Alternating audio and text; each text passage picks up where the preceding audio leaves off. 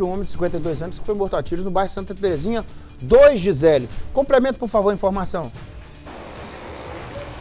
Pois é, Nico, deste homicídio de Coronel Fabriciano, da vítima Átila, de 52 anos, a polícia ainda procura por mais duas pessoas, né? Um que fugiu do local e uma outra pessoa que foi vista entrando na casa com este suspeito, com um dos suspeitos de 23 anos, que foi preso pela polícia por suspeita de envolvimento e também por tráfico de drogas.